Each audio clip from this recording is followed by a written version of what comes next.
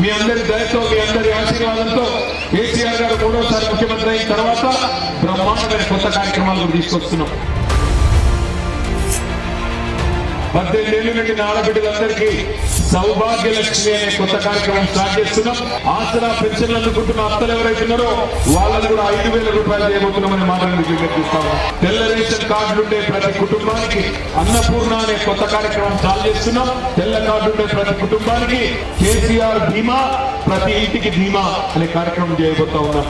ప్రగతి ప్రస్థానం ఇట్లే కొనసాగాలంటే కడుపు నిండా పేదవాడు మూడు పూటలా తింటూ సంతోషంగా ఉండాలంటే కేసీఆర్ లాంటి ముఖ్యమంత్రి ఖచ్చితంగా ఉండాలి.